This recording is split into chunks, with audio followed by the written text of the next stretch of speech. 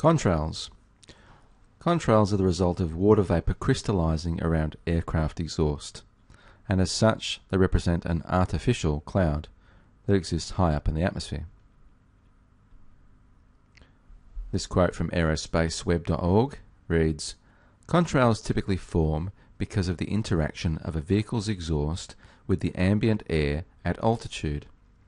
The air at high altitudes is generally cold and dry, while the exhaust from aircraft engines is hot and humid.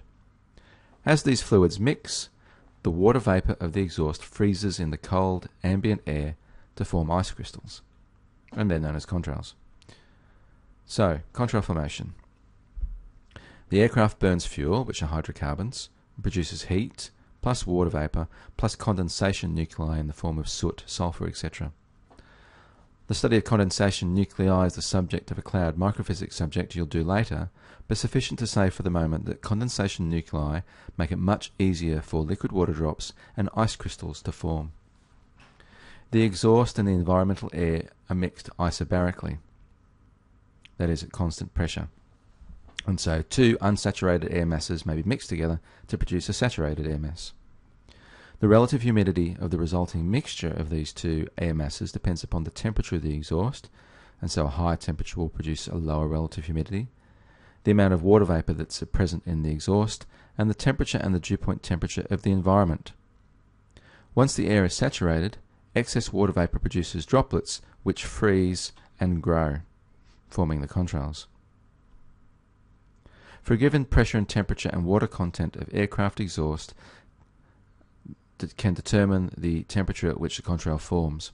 That is the highest te environmental temperature at which contrails may form. And different engine types have different corresponding values of TCF. Contrails persist depending upon the atmospheric moisture. The drier the atmosphere is, the more quickly you'll get dissipation. And wind strengths. So under weaker wind conditions, it'll persist longer. Stronger wind conditions will mix things up and result in dissipation. In military operations, they usually want to avoid forming contrails. So if you're ever posted to a military installation, they'll be particularly interested in terms of their forecast briefing. For example, here's a military R4 for Williamtown in New South Wales.